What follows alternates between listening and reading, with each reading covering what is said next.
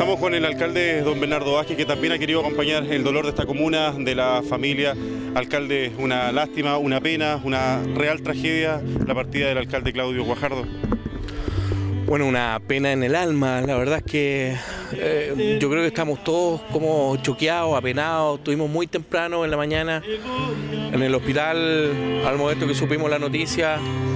Eh, es la pena de una comuna, es la pena de las personas más humildes que se acercan con mucha pena a ver a, su alcalde. Yo la verdad es que estoy muy conmovido porque nunca pensé que, que, siempre una muerte afecta mucho, pero la verdad es que esto me ha afectado demasiado.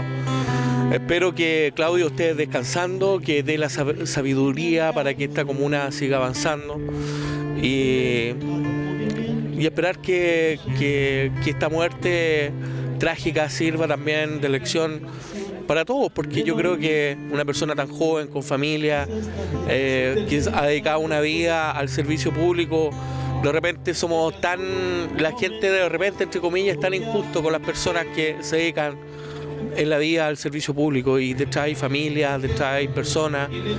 Eh, por lo tanto, siempre hay que, que siempre respetar de repente, eh, sobre todo en estos momentos tan difíciles. Yo en lo personal, como comuna de Pelarco, hemos venido también a dar el pésame a la familia, a la comuna.